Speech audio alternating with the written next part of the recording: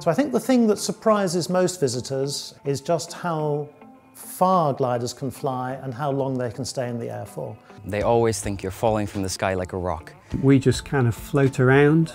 You go up, you come down. You can fly a glider in this country in the right conditions for hundreds or literally even a thousand kilometres. We fly for mm, five or six or seven hours. And they definitely don't understand, and a lot of power pilots don't understand that we can fly to the sort of heights we fly at. We go to 30,000 feet in wave. You know, that, that is the big misconception.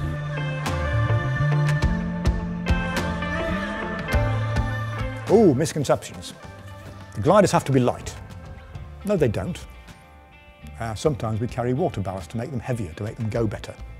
How can you control it? It hasn't got an engine. Well, I control it like I control any other aeroplane with the, you know, with the control column and the rudder pedals and, and so on. Where do you land? Well, you land where you decide to land because you're flying it. And I think the misconception comes because people think it's not got an engine, so how can you possibly control it?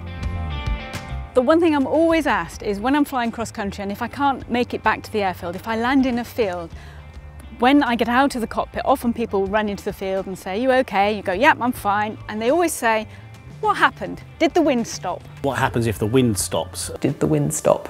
What happened? Did the wind stop? You know, because they think we're like kites. And people think it's the wind that keeps you in the air. Well, that's not true actually. What keeps you in the air is the aerodynamic design of the glider. It's only certain air currents that we require to keep flying. We don't require the wind per se. You use that energy from the environment to actually get you going up. And the thrill you get when you get even your first 100 feet without an engine pulling you up is beyond explanation. Biggest misconception about gliding, I would say, is that it is very expensive. It's simply not true. Isn't it expensive? Well, compared to other sports, no, it's not. Uh, if you want to do motor racing or even golf, I think you'd spend an awful lot more money than you would do on gliding. A lot of people think it's more expensive than it actually is, and it is actually affordable. It's probably the least expensive way to learn to fly fixed-wing aircraft, and it's because we, we all pitch in and do stuff. Another thing that comes up is people tend to think of gliding as an individual sport, which it most certainly isn't.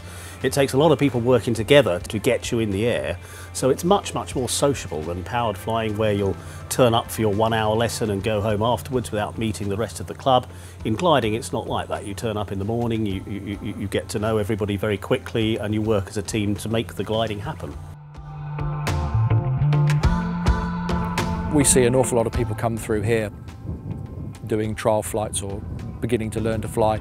And there's always the misconception that gliding was for other people.